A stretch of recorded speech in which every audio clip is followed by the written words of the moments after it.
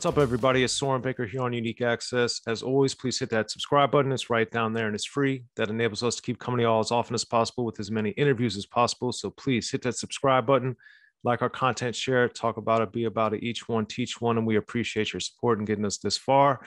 Now, today, we have the honor and privilege of being joined by two of the men behind the film that is out now worldwide. It's called The Invaders. We have director Prichard Smith and John B. Smith, one of the invaders. Thank you both for coming through. All right. Thanks again for having us. Yes. So everybody should definitely watch The Invaders after you watch this interview or pause the interview now to watch the film and come back to us. But it's available uh, video on demand everywhere worldwide iTunes, Apple TV, Prime Video, and elsewhere. John B. Smith, for you, I wanted to get right off the gate uh, with the invaders looking back as you guys were forming this organization in memphis uh, back in the day what now that you look back what is the significance of what you guys did just to form the organization in the midst of the civil rights era? Well for me everything began with the infamous gas cap incident because prior to the uh, gas cap incident I was a good colored boy. You know, I was raised to be a good colored boy, and I'd gone to the military, you know, because that was what you did. And I got out in 66, got what I thought was a good job, had an apartment, had a car, a 62 Volkswagen, and I was living a playboy's life until Charles Cabbage came home. Charles Cabbage, we had known each other since the second grade. We had gone to high school together, played football together, but Charles also played basketball. And he was a quarterback and I was the end. So we had this synergy between us, not just because we grew up together, but we had worked together. But when he comes home from Morehouse, he's told Black Power. He's looking like uh, Stokely Carmichael. He's got a big afro. He's wearing, uh, got an amulet around his neck. He's wearing a dashiki, sandals, and Levi's, which is not the kind of get up that we wore. You know, we were still wearing dress slacks, uh, ties, and those kinds of things. So that uh, contrast really began the effort of, I felt like he had been brainwashed. So I needed to save him. And he looked at me basically the same way that I had been brainwashed from you know, the past. So we debated back and forth about the merits of Black Power, and uh, I was pushing the Bill of Rights and you know things like that. The Constitution it gave me rights, so I could uh, you know live life as an American. Well, this particular night we were on the way over to my apartment, and I had to stop and get gas. And I pulled into the service station, which was right on the uh, way that I go. I go in there often to get gas. And the guy comes out, this is before self service. He comes out, and uh, I had developed this habit of, of getting out because the 62 Volkswagen didn't have an outside gas port. You had to get out and lift the hood to get to the gas. So I had lost a couple of gas caps previously. And as a matter of fact, this guy that was putting gas in my car had sold me the one that was on the car. So when he finishes, he tells me uh, it's $3.10. That's what it took to fill up a Volkswagen. I never will forget those numbers. But uh, the good old days. he also follows with uh, you know, you don't have a gas cap. And I'm saying, well, I had one when I came in. So I get out and I'm looking around because I figure it's got to be in the trunk someplace, but I don't see it. And being from the hood, you know, you go in a grocery store and you want to get some chips or some cookies. So you just slide them inside your shirt, button your shirt up, and slide on out the door. So I knew he had to have it on him because he hadn't gone anyplace. And I looked and I could see that budge on the side. I reached out and touched it, and it was my gas cap. Well, being an old white guy, he starts ranting and raving about me putting my hand on a white man, and if uh, you know he, if I didn't uh, get off his lot, he might shoot me myself, shoot me himself. Well, this is when my being a good color boy comes to the fore. Because see, I felt I had rights. I had gone to the military, I'd served well, got an honorable discharge. So I should have rights. So I tell him, no, you don't have to call the police. I'll call the police. So I go to the phone booth on the corner, call the police. Of course, they come. And uh, while this is uh, happening, uh, people in the neighborhood who know me and kn- know the Volkswagen, they start stopping. And they, there's a nice little crowd across the street from the gas station.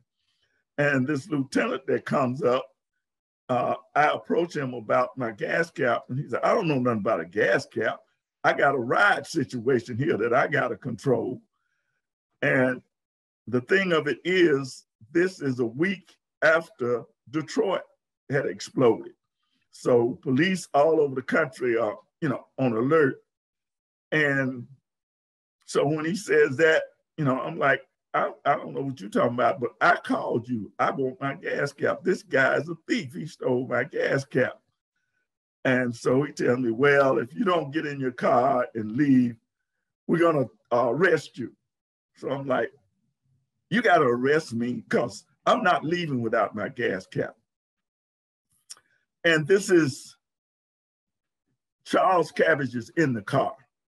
So my performance really was geared more toward him because he was the one that was saying, man, you don't have any rights. Bill of, when they wrote the Bill of Rights, your folks were slaves and you know, things like that. So I'm trying to prove to him that I got rights. And so when this guy tells me that, I'm like, no, I got rights. I got to get my gas cap. So they arrest me.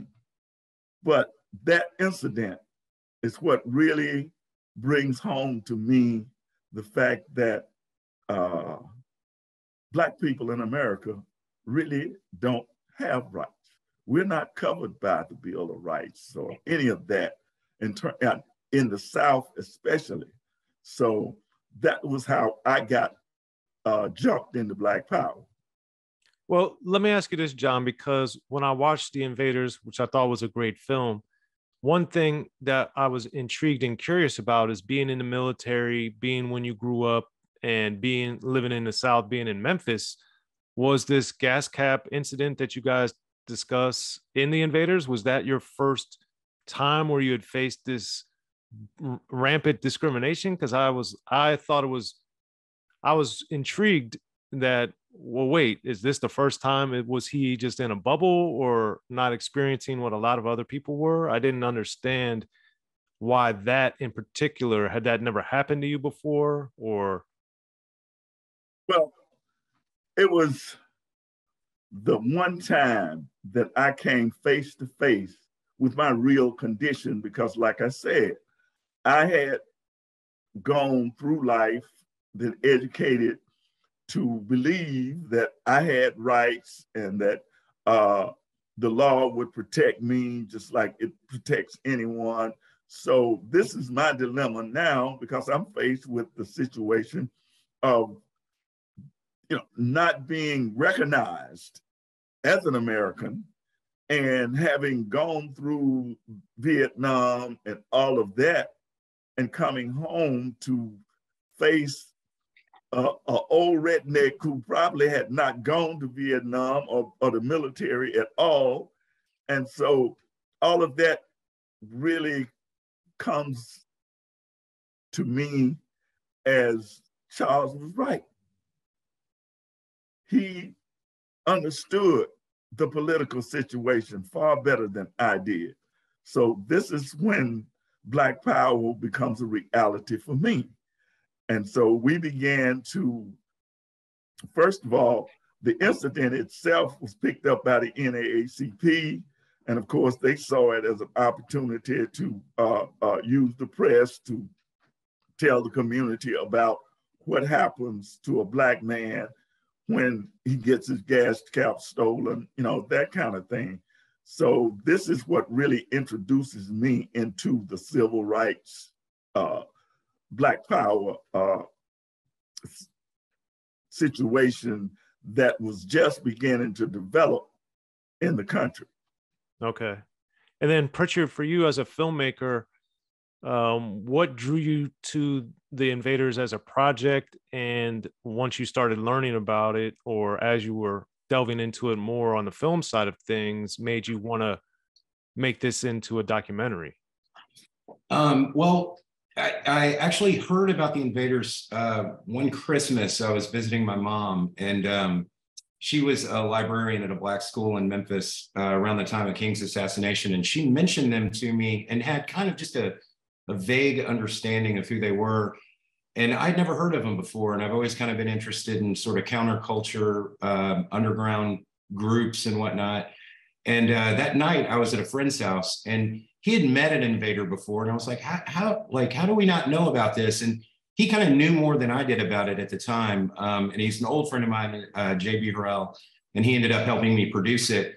But the more he kind of um, explained to me sort of like what their position was back in 1968 and uh, the you know the more we kind of dug into it we actually went to the library the next day and just started like looking up all the stuff we could find and um, it was just clear that there was a story there especially when we realized that that dr king had reached out to them when they were accused of starting the riot uh, during the sanitation strike and that there was this sort of connection between them and dr king um, we just wanted to know more, you know, and just try and, you know, I'm from Memphis. I mean, I've been in New York for the last 20 years almost, but um, it just seems strange to me that I'd, I'd never heard of it before and just really intriguing. And then, of course, once we met John B. and Coby Smith and Calvin and all the guys, um, just kind of realized that, you know, this is kind of a, an untold uh, aspect of, of that story that, that in order to have the full story should be told. Yeah, absolutely. Because I, from reading and studying history, I knew of the sanitation strike and the issues, but I didn't know about the invaders. So when I was reading about the film and learn these extra layers, I was excited to watch it. So, John, for you, I was also intrigued because there were a lot of uh, similarities and parallels to some of your initiatives with the Black Panthers, with the free meals and the education and helping children. So, uh, did you happen to develop those on your own? Did you model yourselves after them? How did that work for the invaders, John? Well, you know, we didn't just jump into, um, you know, Black Power organizing right away. It took, uh, oh, about three or four months before we started to, because uh, I met, we met, I met Coby for the first time. Charles and he had uh, gone had gotten together down in Morehouse. And since they both were from Memphis, they had talked about coming back home and starting an organization. Me, I was sort of like the tag along then because I didn't know that I hadn't read the books. I hadn't studied Black Power. I was a good colored boy. So I had to uh, actually uh, just go along and be a part of the group while I kind of get my feet under me in terms of this totally new experience. And so Cab and Coby, they were like the front guys uh, in the organization until we approached uh, the sanitation strike, which happened uh, maybe four or five months uh, after we got involved.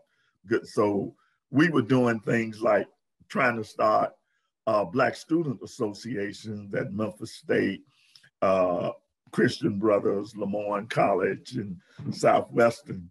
Coby went to uh, Southwestern. I went to, uh, I was at Lemoyne.